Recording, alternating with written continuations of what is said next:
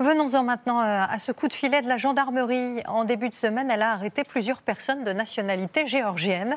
Elles sont accusées d'avoir volé des dizaines de pots catalytiques sur des voitures, des accessoires qui rapportent beaucoup d'argent car ils sont composés de métaux précieux, comme nous l'explique Georges Brenier et Loïc Gorgébus. Regardez.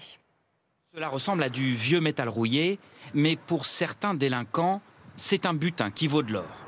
Ces derniers jours, la gendarmerie a interpellé une équipe de ressortissants géorgiens soupçonnés d'avoir arraché 29 pots catalytiques sous des voitures en seulement quelques jours.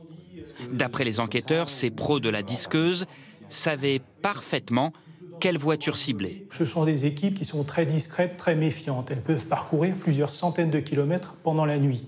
Et au gré des opportunités, elles vont faire un raid et ce qui les intéresse pour démonter un pot, le découper, ça dure à peu près 5 minutes.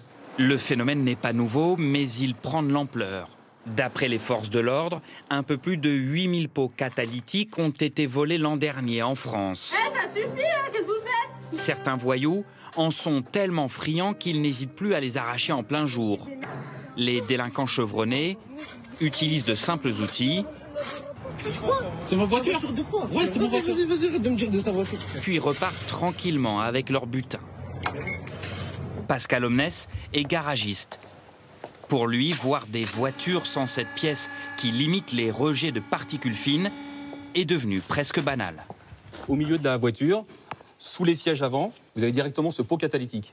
Cette partie-là qui est très, très, très recherchée. Les pots volés ne sont pas revendus comme des pièces de rechange, non. Les malandrins ne s'intéressent qu'à ce qu'ils contiennent. C'est des métaux effectivement très rares. Donc euh, tout, tout, ce qui est métaux rares aujourd'hui, euh, comme les batteries, effectivement, euh, coûte très très cher.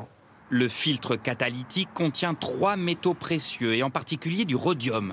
À 370 euros le gramme, le cours de l'or fait pâle figure à côté. Les voyous empochent généralement 500 euros par pot.